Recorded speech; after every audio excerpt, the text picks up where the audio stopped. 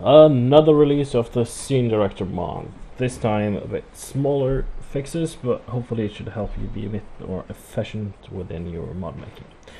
The biggest new thing is that we've upped the number of actors you can have. It the max amount now is 20 actors, um, but the menu will most likely go outside.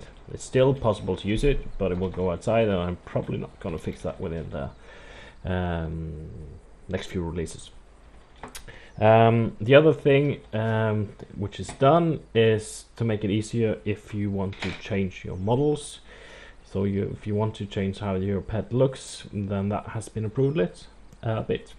So if you now clone an actor, uh, which came down there, and then you add them to the slot. And now the clone, of, of course, is exactly the same as the one you cloned it from. Um, if you now use a different trainer to actually change how they look, like this, you will see a message here, update current actor after switching model. So what happens, GTA actually switches the PED ID, which is the main reference we have to the actor. Uh, now we detect that and automatically update it within the menu. Before you would have to trick a bit back and forth before, to get this working. So that should help you be more efficient. Um, then we have a few things related to recording. Um, the first thing I've seen a need for is that uh, it can be hard to place different actors within a car. So I've made a function which is a bit hidden, but let's just get an actor here and we'll spot a car or something for them.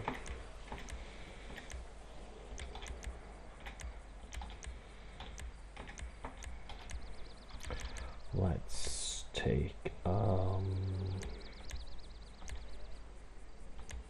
Okay, just a limo. So we've taken a limo and spawn it within a very steep hill. And this is now actor number two who has this car. So now we want to place other actors within this car, we then select them, we click page up, and then the number of the actor we want to uh, teleport them into. So since it's number two here, we press page up and two, and they're automatically placed into the first available seat of the car. And the same thing for a couple of other ones. So it's a quick way of setting up uh, inside this car how you want the actors to have if you multiple actors. So that's a new feature. In addition, if you have a recording, let's make a simple recording with actor number three, whoever that is. We're just gonna record that uh, we're walking and the scene setup.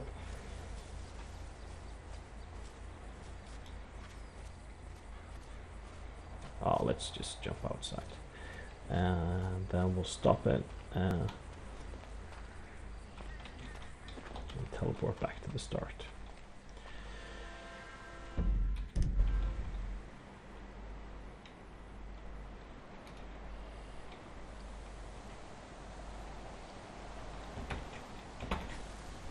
So we'll teleport back to the start without Delete. So now we have a recording and if we have multiple recordings, we sometimes want to time them according to each other. So now for each recording, you have a recording delay. So and that delay will basically mean that the actor will wait uh, this that amount of time before it starts doing recording. So this allows you, if you run the scene multiple times, you can tweak the starting points for different actors more um, and actually get the effect you want. So this will typically be in milliseconds so now we're basically delaying it um, one second um, after the scene has been acted or after you're testing the recording. In addition, the last thing I want to show you is the copy recording to other actors. So whatever, whatever actors who don't have a recording, they can get this recording from this one actor. So it's a kind of um, slightly the same as the uh, firing squad mode, but just for recording. Um, if you do that, you see everyone gets a recording. If they have a recording, it won't be uh, added.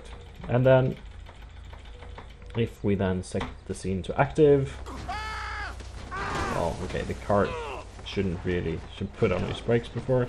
So everybody's teleporting back to the start location, which will also be copied. Okay, a few of them probably died there, and now they're running the same recording, all of these actors. So you see they're following each other. And now they are all jumping down here, where we started. Okay, so that was what I wanted to show you. I guess the next thing I want to focus on, which I find time consuming myself, is actually uh, persisting the actors you need for a scene. Um, most likely it will be into a flat file, which you then can load in afterwards. So it won't export the recording, at least not at first, but it will try to get all the actors you have and the different variations they have. Okay, enjoy!